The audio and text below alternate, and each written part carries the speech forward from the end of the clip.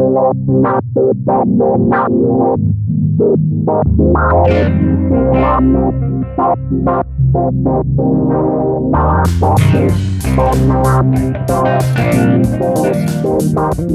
answers. O mais importante na hora de escolher a sua headlamp é você saber qual que é o modelo mais adequado para onde você estiver.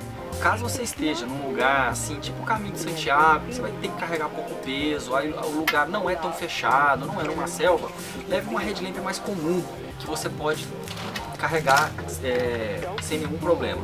Caso você fazer alguma expedição numa selva, ou vai acampar num lugar fechado, ou vai fazer um, um canyonismo numa caverna, leve uma headlamp que tem uma potência de lanterna bastante alta, vários tipos de modelo e que a bateria use bastante.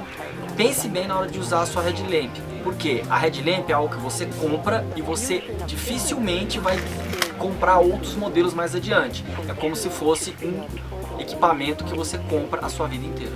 Existem vários modelos de headlamp. Existem headlamp que tem quatro LEDs, que LEDs variam bastante de potência, e existem headlamps que tem um super LED e outros LEDs auxiliares.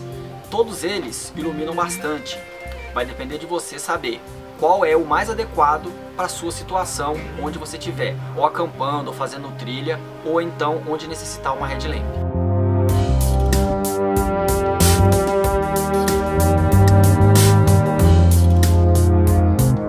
Love, the electrifying formula between two people whose feelings deep, charismatic, compelling, creating a union that is telling.